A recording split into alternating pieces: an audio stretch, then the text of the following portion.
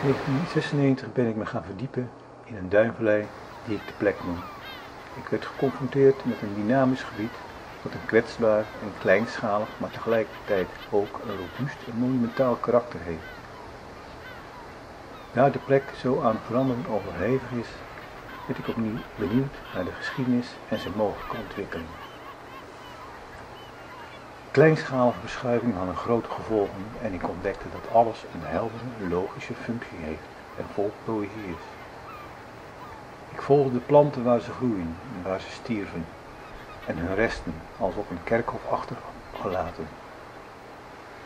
En hoe het zand met behulp van de wind en de neerslag en de zwaartekracht duinen vormde.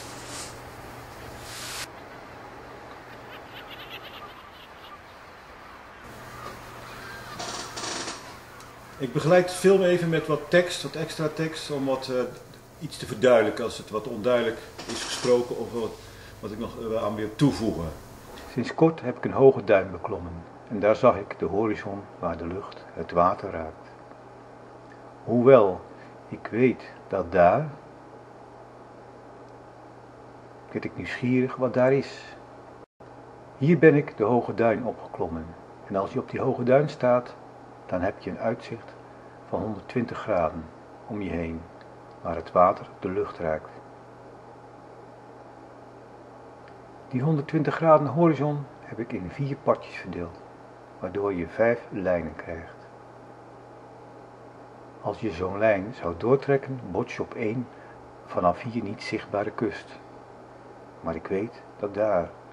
De eerste lijn op 255 graden vanuit het noorden gezien botst op de kust van St. Margaret's Bay in de buurt van Dover, de bekende krijtsrotsen.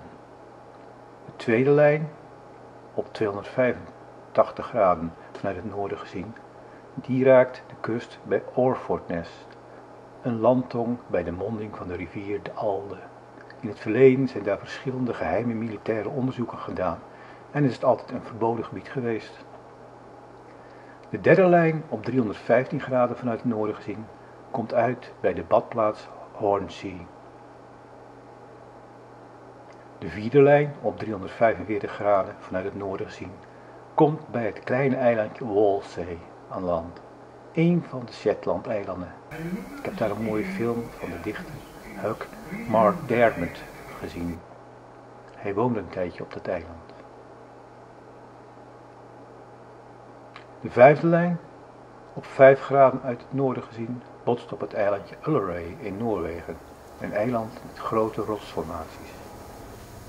Ik, ik, ik zit dus ook al heel lang in die duinen bezig, in die, juist in het dal. Het is een groot verschil om in een duinvallei de wereld te verkennen, of zoals nu, achter de horizon te gaan kijken. Te gaan ervaren wat voor wereld erachter die horizon ligt. Het is net als de lichtwachter die beneden bij de vuurtoren woont, tussen de duinen en de kleine wereld van zijn omgeving ervaart. Maar als hij naar boven gaat, dan komt hij boven de duinen uit en daar dan om zich heen kijkt, bewust wordt van de wijde wereld. En zelf contact heeft met die schepen die van ver komen. En zit zijn dienst erop, dan daalt hij weer af in het door de duinen omringde gebied.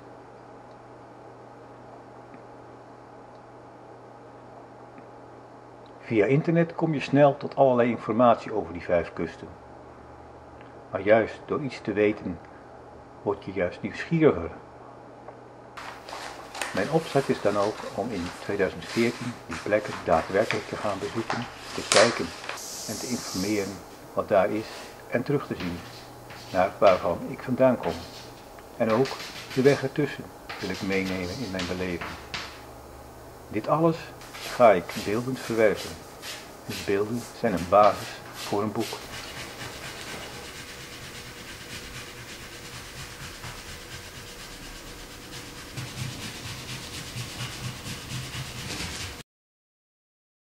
Er zullen werken gemaakt worden naar aanleiding van het uitzichtpunt,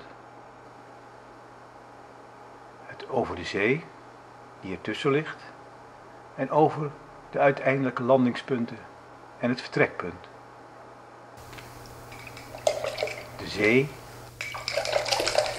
het uitzichtspunt.